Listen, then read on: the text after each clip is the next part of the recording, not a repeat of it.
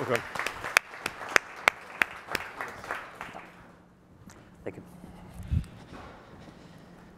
Well, uh, I'm the last thing standing between you guys and lunch, so I'll try to keep this on point and uh, introduce you to the Lief. So the Lief is a wearable device, a smart patch that helps uh, the user monitor their own physiology and control their uh, relaxation and also their ability to control kind of their stress response, their sympathetic and parasympathetic stress, stress response. So we actually have a little bit of a video here. So perhaps this is a way to introduce, uh, introduce you to the Lief. And I'm Nathaniel, and we are the creators of Lief. The Lief is a smart patch that helps you control your natural response to stress. Sometimes, even the subtlest moments can have our body reacting with fight or flight, and we don't even realize that it's happening. Using patent pending biorhythm technology, the Lief continuously monitors your heart notices that you're imbalanced, it uses gentle vibration to guide you back in real time. This product is built on over 20 years of evidence based research and heart rate variability biofeedback. This simple technique teaches you to reduce your stress response by breathing in tune with your heart's natural rhythm. Our team has completely reimagined this technique for the way that we live life now.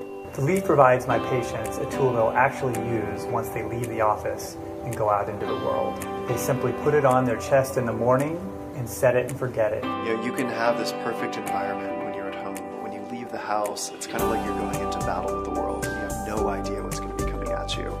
Bringing in this little device, it's amplifying your body and empowering you to then take action, reset. Biofeedback is basically the superpower that allows you to control things about your body that you thought were totally unconscious. You Think about training your bicep at different times to create more muscle. You can train to have more resiliency in your nervous system by doing this throughout the day.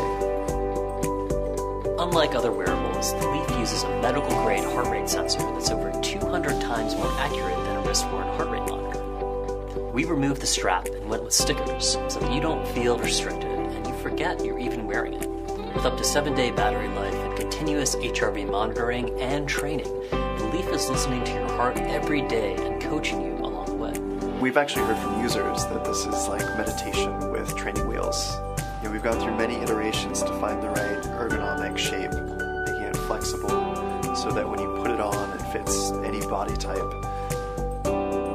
The results have shown positive impact on anxiety, depression, stress, PTSD, chronic pain, optimal performance, sleep. The list goes on. We've gone through many design iterations to get you the game changing product we have today. We've tested the Lief with everyone from high powered CEOs to monks living in the Himalayan mountains. And for the last two years, we've been working with Stanford and UCSF clinicians to make a tool that really works. We're really excited. So it's probably uh, it's probably mostly enough uh, to kind of get started. So uh, that's a teaser on the Lief. As you can see, it's a wearable product that allows you to regulate your own stress response.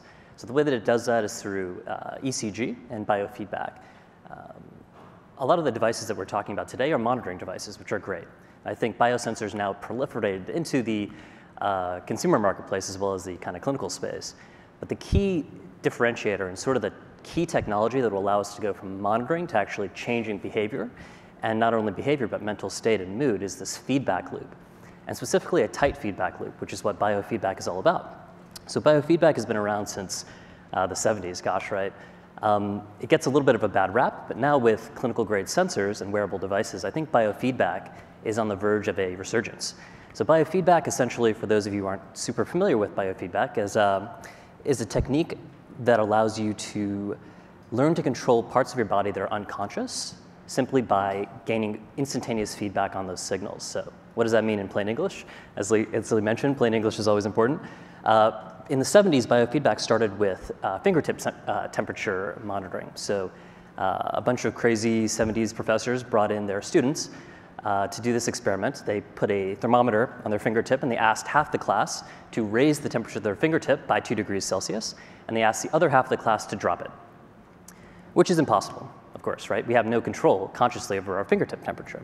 However, if you have real-time feedback, if you're monitoring in real time the temperature of the fingertip with high precision, the human brain is actually able to, over time, learn to control this fingertip temperature totally consciously.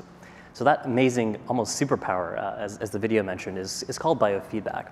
So fingertip temperature uh, is something that can be, that, that, was the first thing that was really looked at and certainly has, uh, as a proof of concept, it's quite interesting, but it's more of a party trick, right? Why do you really need to increase the temperature of a fingertip? Um, that's a little facetious, but there are, there are some applications where you could imagine controlling your body would be very, very advantageous. For example, anxiety. So we've been working with UCSF and Stanford clinicians, specifically with their anxiety patients, to teach them to control their actual heart rate and their heart rate variability um, through a real-time feedback device. So as I mentioned, a lot of devices are monitoring. What we do in terms of the real-time biofeedback is uh, giving people a haptic signature, a complex haptic pattern which we've uh, patented and have worked really hard on um, that allows people to be very aware of the instantaneous changes in their heart rate. So some of you may be familiar with heart rate variability. This is another thing that, our, that the Lief device does really well. Uh, heart rate variability is essentially this natural variation in your heart rate. Uh, people always assume that your heart rate is kind of constant, a 65 beat per minute, uh, you know, straight line. But if that's the case, if you actually notice that your heart is uh, at a constant rate like that, you need to go to the ER immediately. Uh, you're about to have a heart attack. So actually, the natural rhythm of the heart is kind of controlled by two branches of the of the autonomic nervous system, which are the parasympathetic and the sympathetic um, systems. And so that's, that's not that important, but what it boils down to is essentially when you're very relaxed, your heart rhythm, actually, your heart rate sort of increases and decreases in this beautiful wave pattern uh, that happens when you're very relaxed. And that heart rate variability pattern is what this uh, Lief actually allows you to train on by giving you a real time haptic or vibrational cue, teaching you when to breathe out, when to breathe in, and so forth. So uh, enough about the enough about biofeedback. So one of the things that we've uh, incorporated into the Lief, which has helped actually quite a bit, is machine learning. So we're working with some experts in deep learning to tease apart what data is actually in our sensors. So we have the advantage of being an ECG device, so it's highly accurate. You know, this is what's used in the clinical space. We're right next to the heart. Um, we're measuring ECG, breath, as well as movement, and taking all of that data and feeding it into uh, deep learning algorithms. The user app uh, that people are able to use allows them to tag their own emotional states. So you can imagine almost a psychologist in a box emerging from this in the future, where our deep learning algorithms are able to, with this high quality data, really know how you're feeling in real time and give you instantaneous feedback through haptics. Why haptics? Why are haptics important? Um, you can't pull out your phone all the time. When we're in the moment, for example, right now, um, while, I'm, while I'm speaking to you, it's a little bit rude and, and possibly uh, a non-starter for me to pull out my phone and say, oh, okay, my heart rate variability is X, and I should breathe now. Um, however, I'm feeling my own heartbeat while I'm talking to you all in real time because of this haptic interface. It's a modality that doesn't require you to look at a screen, for example, and you don't need to listen to anything. You're still immersed in your environment around you. And so that's kind of the key uh, haptic engine that we've put into, uh, into the product, and that ties back in with the user app um, such that we can really get fine-grained information about people's emotional state.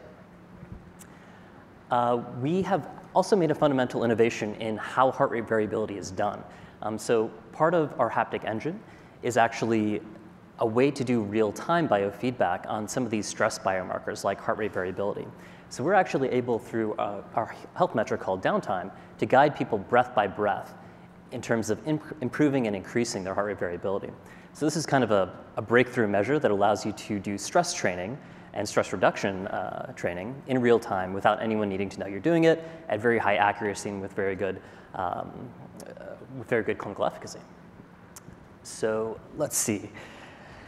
Uh, I, would like to kind of just close out by mentioning that this is a consumer product. What you saw um, earlier uh, in terms of the video was um, a a teaser for a Kickstarter, which will start in two weeks. So I encourage you all to go to getlief.com and check, check out and sign up to hear about the Kickstarter when it launches. Um, but we've also worked with our cl clinical partners to build a tool that's very helpful in the clinical context as well. Um, so Lief actually has a clinician portal, and our services are, um, we allow insurance reimbursement through our platform. So we've kind of tied into the actual healthcare infrastructure in a way that's allowing our revenue to sort of make sense at the end of the day, with the goal of empowering as many people as possible to improve their health. So that's the Lief. Thank you guys for listening.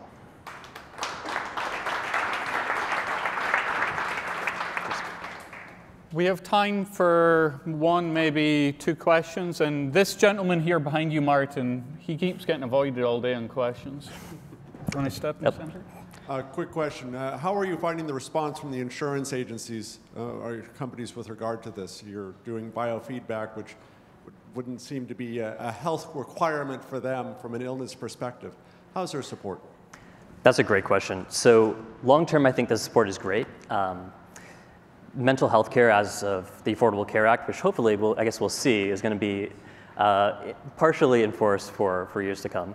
Uh, mental health care is actually now required to be reimbursed uh, on, on parity with physical health.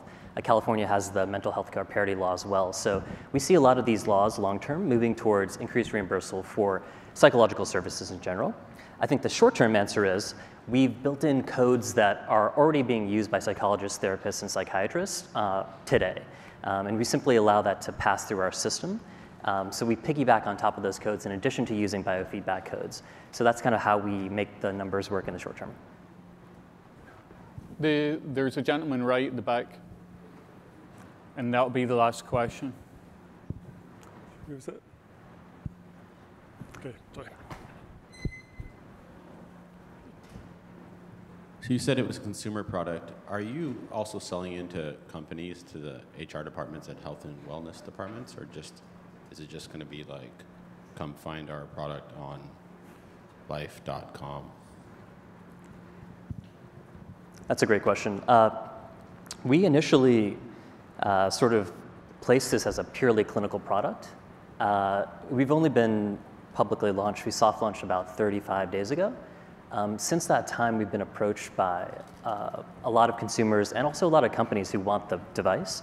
And so right now we're working with them to figure out exactly how we would structure our, our corporate programs. But I'd love to talk to you more about it. Thank you, Rohan.